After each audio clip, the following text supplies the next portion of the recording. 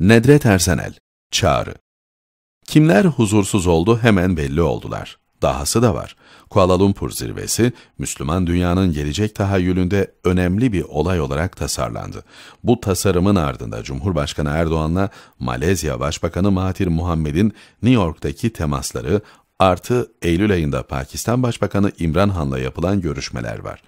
Bir diğer deyişle Kuala Lumpur'un ardında bu üç ülke var. Geçtiğimiz Kasım ayının sonunda bu zirvenin duyurusu bizzat Malezya Başbakanı tarafından yapıldı ve kendisiyle birlikte Türkiye, Pakistan, Katar liderlerinin katılacağını ilan etti. İran daha ortada yoktu.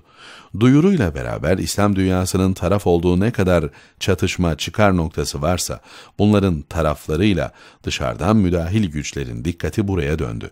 Mesela zirvede Keşmir meselesinin nasıl ele alınacağı, körfez dengelerinin neresinden tutulacağı, İslamofobi için neler söyleneceği, Orta Doğu, İsrail, Kudüs, Mısır, Libya, dünya pastasından alınan ekonomik ve politik dilimin inceliği ve elbette Müslüman dünyanın birliği davetinin ne etki yaratacağı takip edilmeye, ileri giderek başlamadan nasıl bitirilir çalışmalarına başlandı. Gerçekten de Kuala Lumpur zirvesinin zihin zemini küresel kabullere, itirazlara ve Müslümanların neden bir araya gelemediğine ilişkin kritiklere yaslanıyor. Yani hem dünya düzenine eleştiri, hem iç eleştiri hem çağrıydı. Paniğe ilk kapılan Suudi Arabistan oldu. Kral Salman, bu zirve İslam İşbirliği Örgütü'nün bünyesinde yapılsaydı daha iyi olurdu mesajını kıskançlığını Başbakan Mahathir'e iletti. Malezya Başbakanı bunu gizli tutmadı, kralın kendisine söylediklerini kamuoyuyla paylaştı. Suudi Arabistan'ın rahatsızlığı o kadar aşikardı ki Kuala Lumpur zirvesini 2-3 ülke olarak tarif etti. Oysa parmak hesabı bir tarafa katılımcı ülkelerin güç toplamı Çin, Hindistan ve Amerika'nın dahi ilgisini zirveye çekmişti.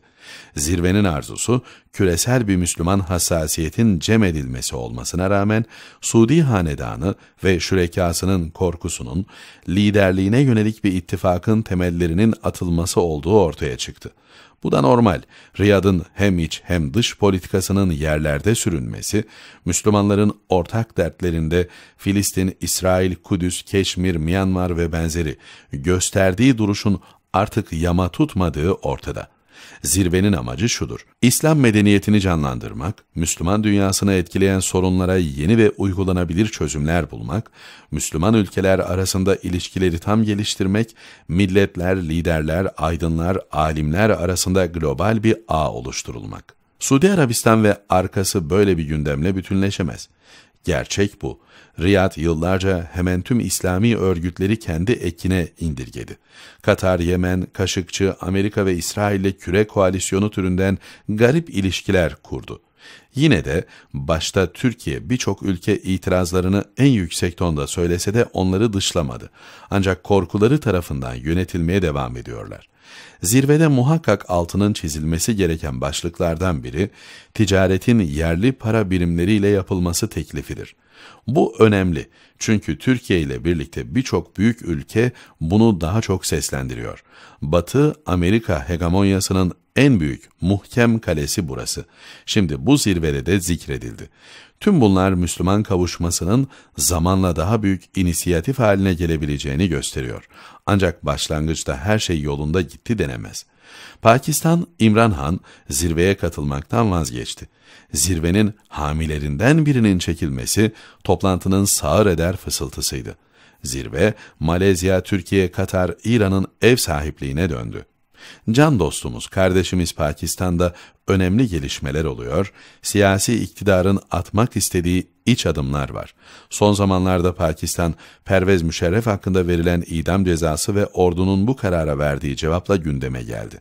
İmran Han'ın katılmaması, Malezya ve Türk liderliği tarafından da sessizlikle karşılandı. Ne Ankara'nın ne Kuala Lumpur'un buna üzülmediğini söyleyemeyiz.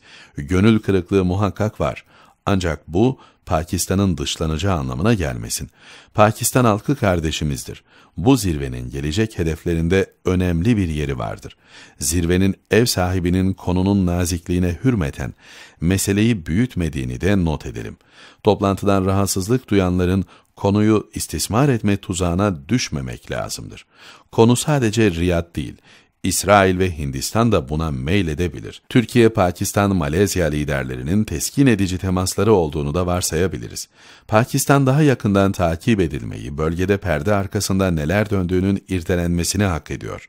Suudi Arabistan'la ilişkisi, işte bahsettiğimiz idam kararının iç politikadaki anlamı, İpek yoluna kısmi ama önemli katkı veren yeni metronun hayata geçmesi gibi ilk bakışta bağımsız görünen gelişmelerin bilinmesi lazım.